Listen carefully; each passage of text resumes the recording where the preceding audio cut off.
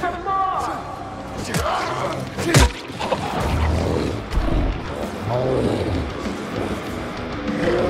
more enemies, the less chance of survival.